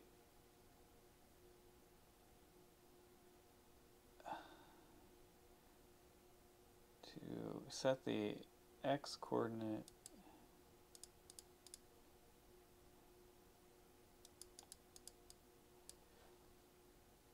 I wonder if part of it is this machine is just weird.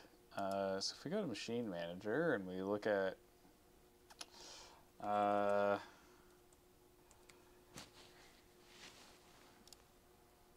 so limit x minus is 0, x plus is 300. Uh, y minus is 0, y plus is like 215, I think. Uh, yes. And then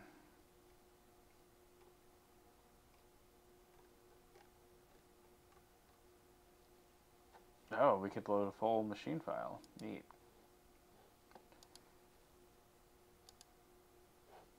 Okay. Uh,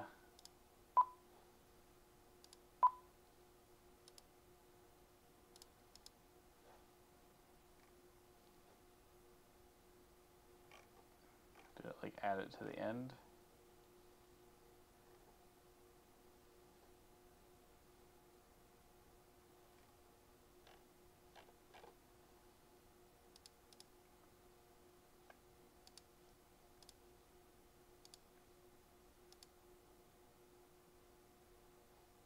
Was a non-Y. Oh, weird. Okay, that's fun. All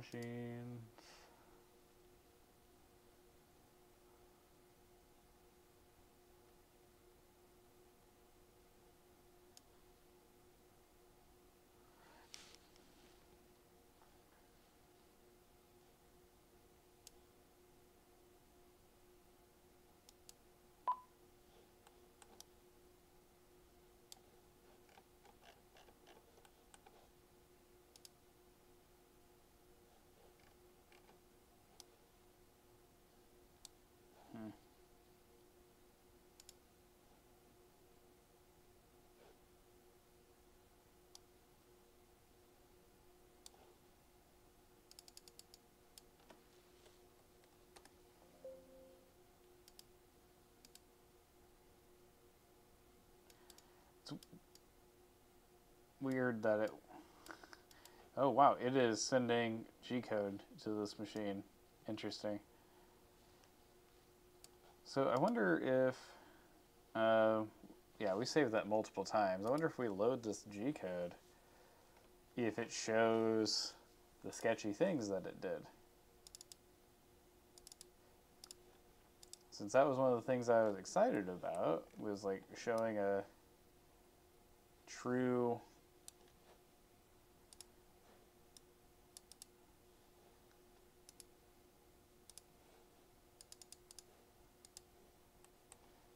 Sure doesn't. Okay.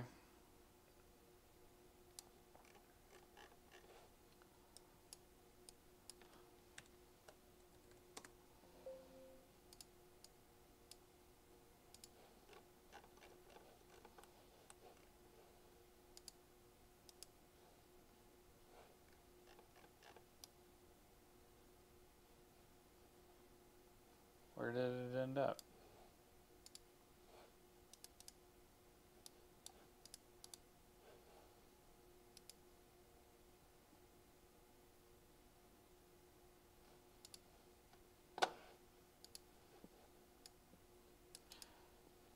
Let's see.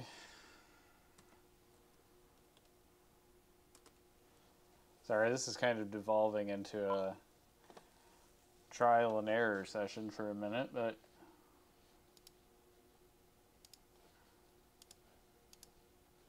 Machine Sim was one of the things I was excited about with this, I would like to see it do the thing.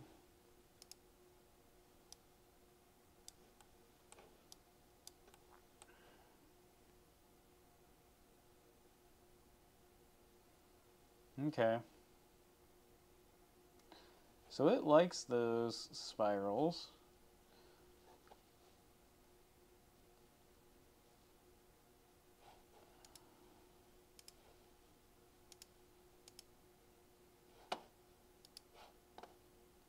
What do those spirals do? Or where are they at?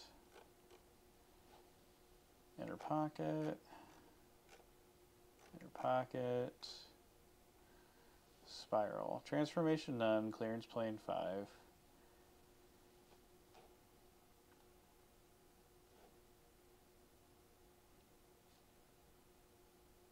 See, all of those should have been lifting to 5 plus, and they were going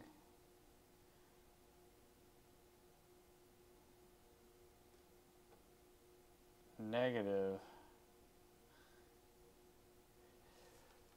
But hey, Billy, um, it's ninety or ninety-one incremental. I can never remember.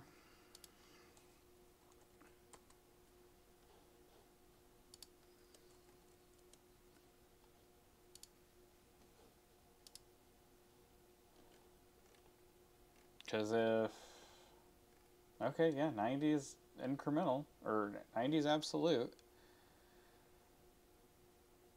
Hey, Mitch.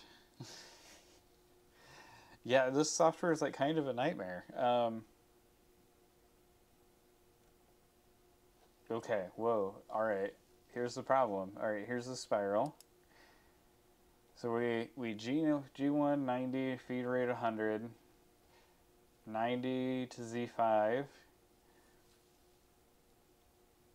uh X16 Z5 and then we 91 plunge.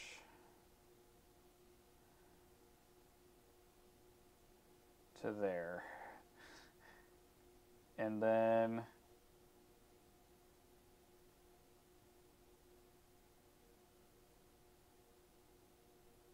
okay. So that's like just another next step down.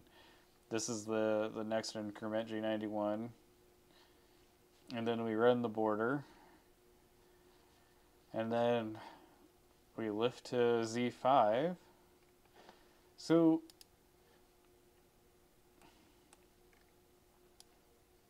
This almost makes me think that this representation's wrong. But anyway, um, hmm.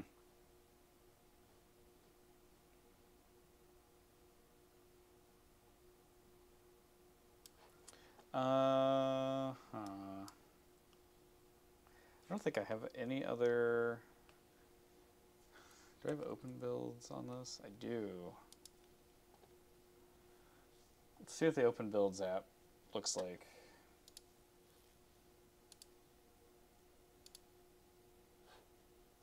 If it opens.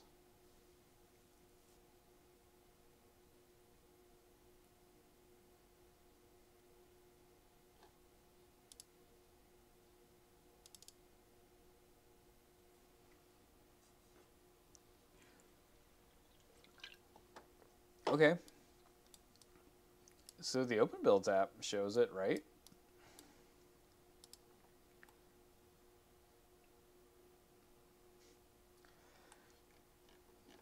So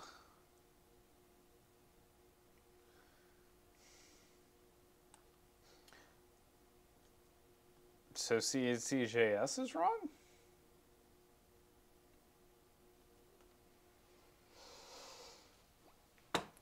Which, you know, sure. Uh, why not? Why why can't it be wrong? It, it can totally be wrong, I guess. Close. Marlin.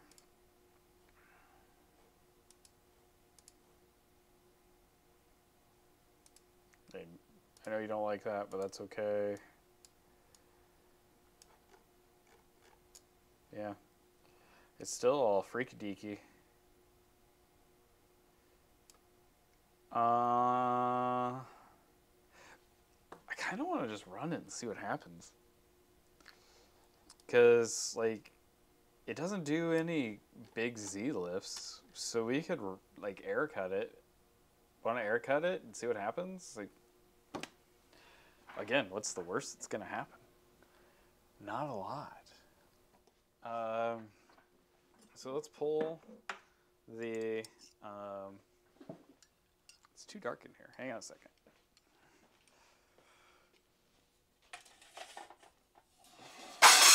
That was loud.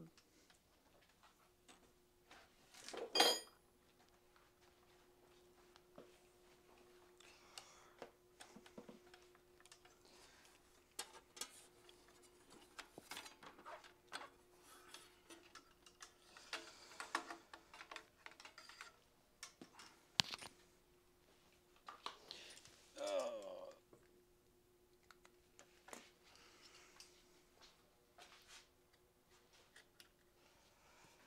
Okay, now you guys can see. All right, so let's pull this tool out really quick.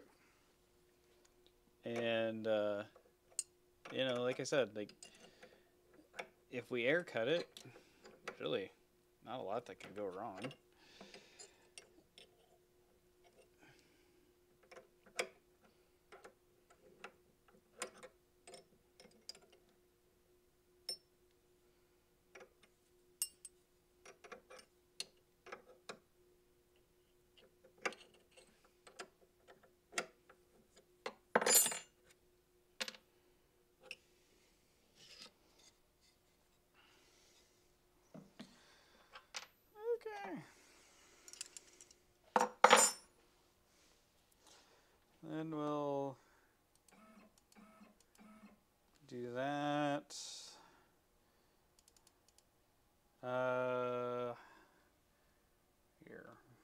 Guys can see what I'm doing in CNCJS. Just zeroing out um, work offsets so that it can like kind of do its thing. Um, yeah. Uh, oh, we probably need to home it after I did that. I'm kind of surprised it worked still on Smoothie as a controller. Uh, connected, reset.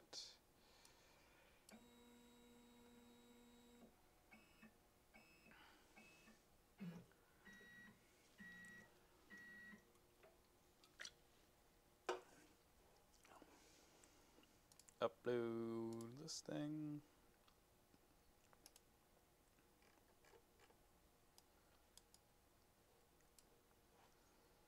Um,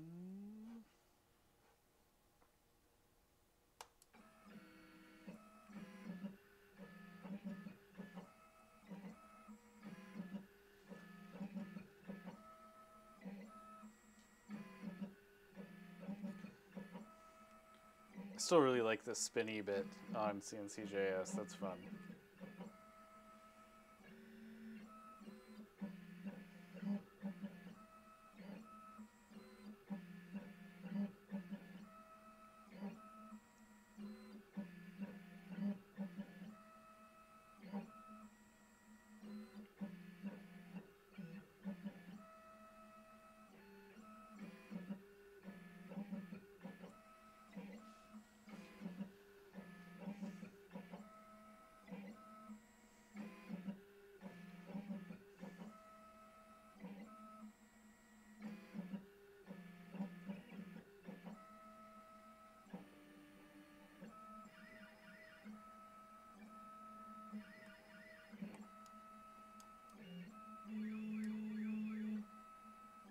Okay, so it's just the representation's weird.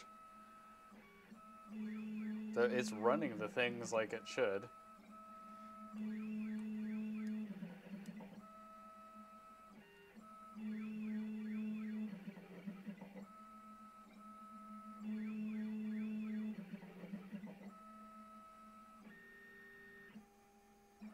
Oh, there's the drill plunge.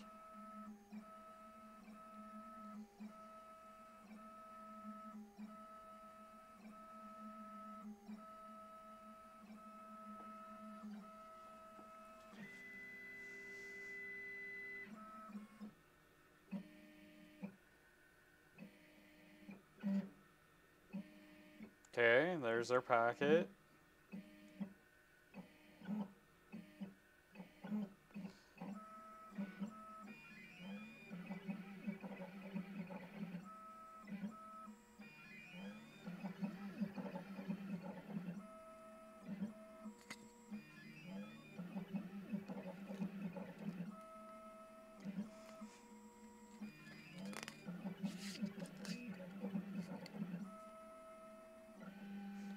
Okay. I've uh, I've seen en- enough um, that I'm comfortable letting it cut. Again, what's the worst that can happen?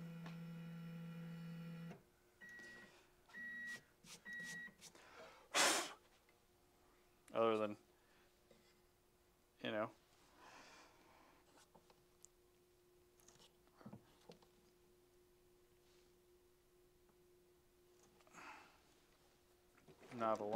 Um, I do have to find the actual end mill.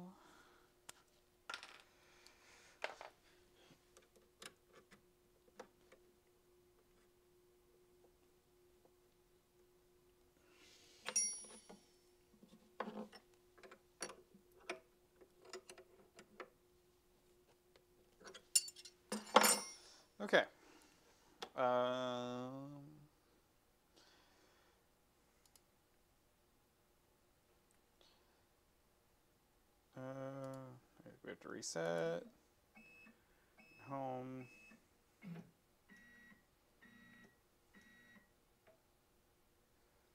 Drill plunge, just click.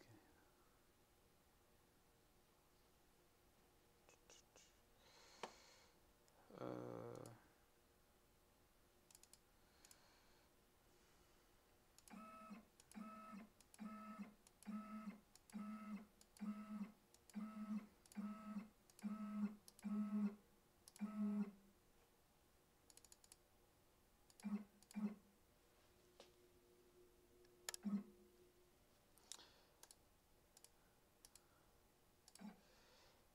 enough.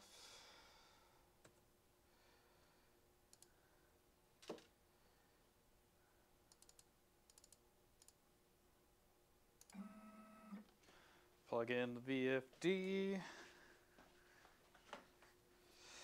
Okay, so, um, yeah, I think with all of this, the verdict is kind of one of those like, should you use this? I don't know. It's not awful, but it's not good. Is it interesting? Absolutely, it is. Um, I definitely want to play more with it.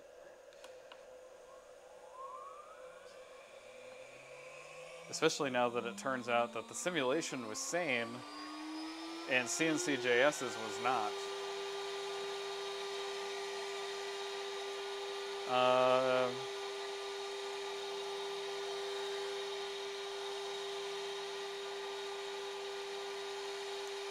so, see how it goes.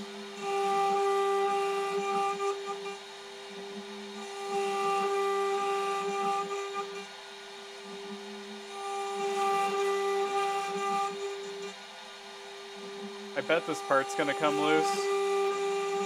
It's not held down very well.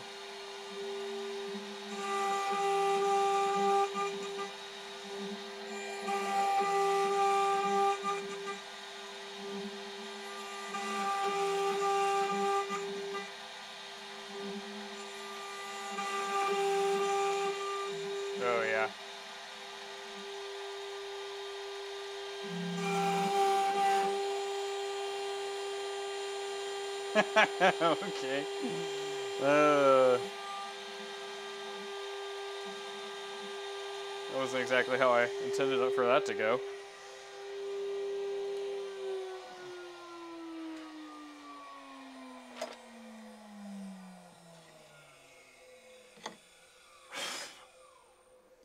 The uh, the tape was from last live stream. That plywood cuts well. It, it's like, it's a. Uh, it's one of the single flutes of these, Mitch. Uh, they're like twenty bucks for. Oh wait, you can't see that. Just me. Uh, it's a single flute of these. They're like twenty bucks on Amazon. Um, this is the two flute version. Um, so they're, they're super cheap. Uh, and know, quite good for, for what they are. Um, my philosophy for router end mills, especially when you're getting going, is buy the cheapest ones because good ones don't make a difference when you're beginning. Um, they just make you cry harder when you break them. And uh, when I when I started this stream, I was like, well, just buy the cheap ones that I know work well. So when people ask that question, I can say, hey, I know these are not good, but they're not bad. Uh, I've cut a lot of aluminum with those end mills, a whole lot of wood, a whole lot of plastic. Um, these are another one. Uh, they're about the same price, but they are they're DLC coated, so they're they're rainbowy, and they cut aluminum really really well. I've been really happy with them, and they're like three bucks an end mill. They're like twenty five dollars for a pack. So uh, if you want links to those, I can send them. I'll, I can put them in the Milk Crate Discord. Um, so come join the Milk Crate Discord. Uh, let's turn the router back on. Try this again.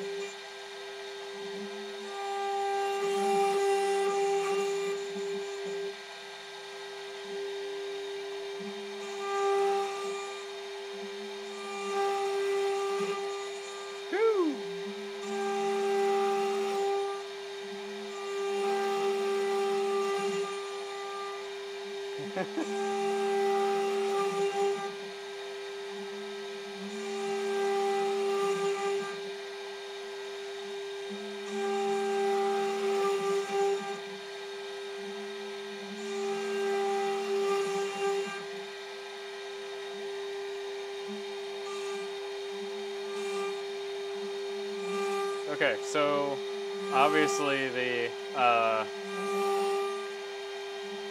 preview was wrong. You can see it's still.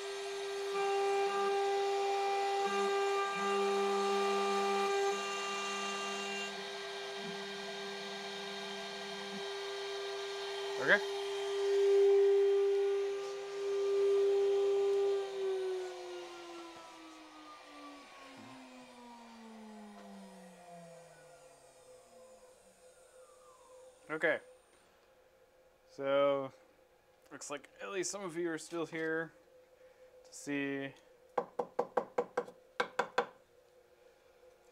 the end result. Uh, just Joe. Let's see.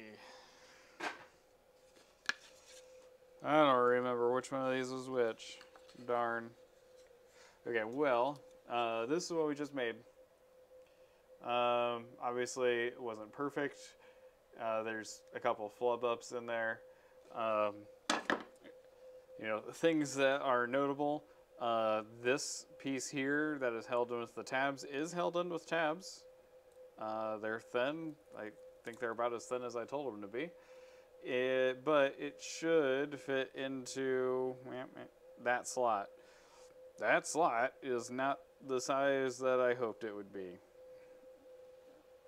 Um, I don't know how to make that slot in grblGRU.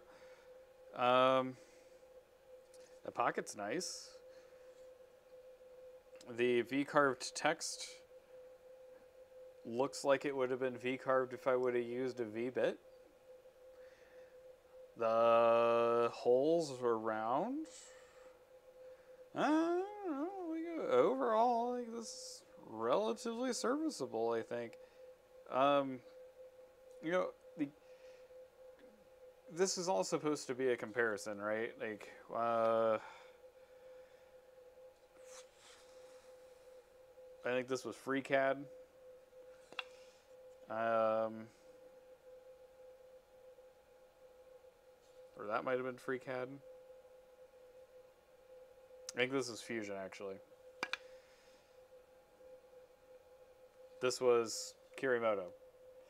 So, like, we're running into limitations of file preparation. Uh, you know, each each software has its own sort of things that it wants for file prep. Um, you know, so in this case, when I got over here, uh, these, let's see.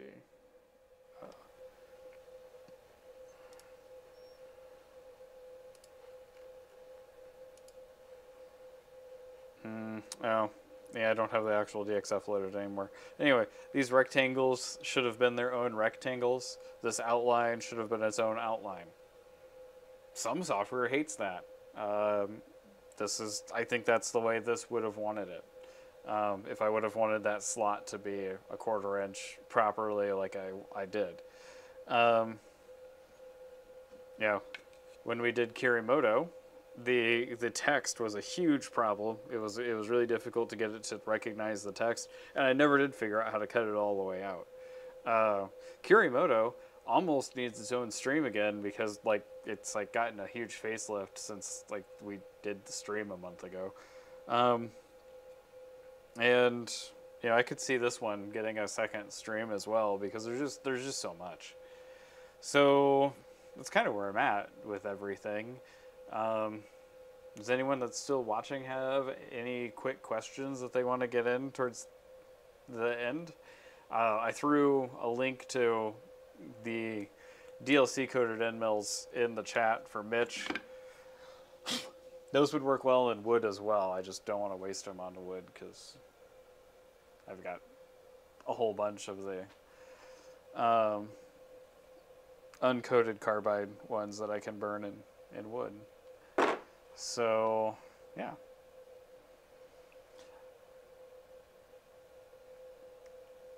Um, yeah, I, I'm very curious. Um,